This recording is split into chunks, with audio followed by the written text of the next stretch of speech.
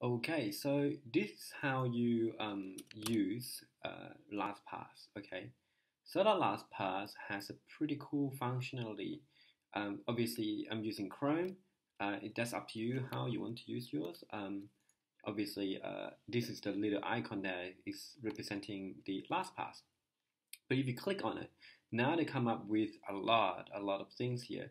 Um, the main thing is at the bottom, there is a, a login that kind of, you know, if you grant, if you have previously seen this video, most likely you are granted or you want to use LastPass, and if you have access to it, then uh, you will see login at the bottom.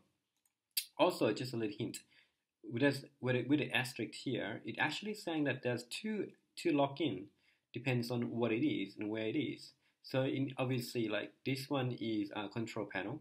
Uh, in this case, it's control panel. So just click on that, and then you click on. Um, obviously, like you may need to like click on that. Just have a look a little bit, like have a look at it and go, okay, well this one is Baz um, control panel. Maybe I should have just done that.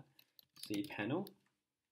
Now if you click save, uh, you should you will see that it's a cPanel, right? This one is just WordPress. So next time I will try my best to create a, um, you know, more information so you can just easily click on it. So obviously if you're not logged into the cPanel, just click on that and obviously the password and, and username will just automatically fill it in for you. Alternatively, you can click on the top part and obviously click again on cPanel, click on that and autofill and here you go. It just filled out for you. Now, one more. There's three places where you can do this. The third one is auto autofill, like at the top. It's just saying LastPass has few unit of information. Oh, okay, well before it did.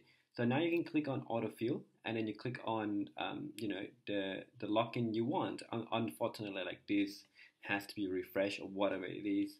That's why it's not showing cPanel. So I'm just gonna refresh it. Let's see.